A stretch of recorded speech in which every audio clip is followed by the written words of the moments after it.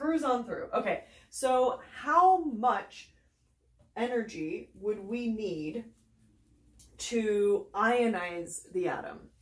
That is going to be our next goal. Okay, so uh, we're to save this. We're to erase this. And we're to write up here D equals 2.32 times 10 to the negative 16th meters. Da, da, da, da, da.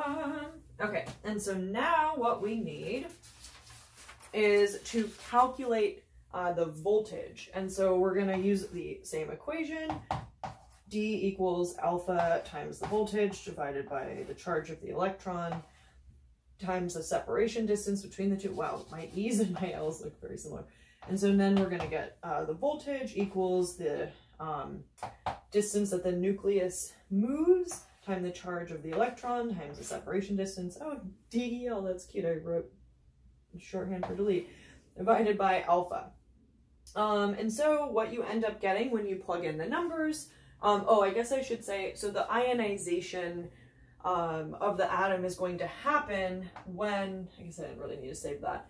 Um, so it's, the atom is going to ionize when the nucleus moves all the way over here, because by then, um, the electron cloud will be, well, um, like this, and, well, okay, yeah.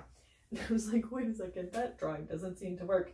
Um, but basically, if, if the nucleus surpasses the, the radius of the electron cloud, then they have effectively separated. The nucleus is outside of the electron cloud because it has moved so much. And so in that case, um, it will ionize when the separation distance equals the radius of the atom. So instead of this number, you actually plug in um, the radius of the atom. So, sorry, my little word got changed to rel. Maybe it stands for reality, I don't know. Um, and what you end up getting when you plug in the numbers, uh, I trust that you know how to use a calculator, probably better than I do at this point. Um, you get a voltage of 1.09 times 10 to the 8th volts, or 109 megavolts, or million volts. Mega, because we like to be lazy. Technically, that's the term. That is a huge number. That is a very, very, very high voltage. Um, for context, in our homes, we have coming out of the wall 120 or 240 uh, volts for large appliances. Um, in long stretches of our electrical grid wires, you might find voltages around 34 kilovolts um, or 34,000 volts.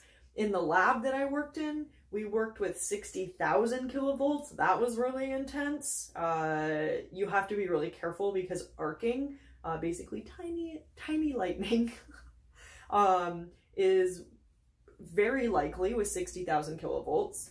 Um, and the highest pr voltage produced in a lab um, was at Oak Ridge National Lab, which generated uh, 25 or between 25 and 30 megavolts.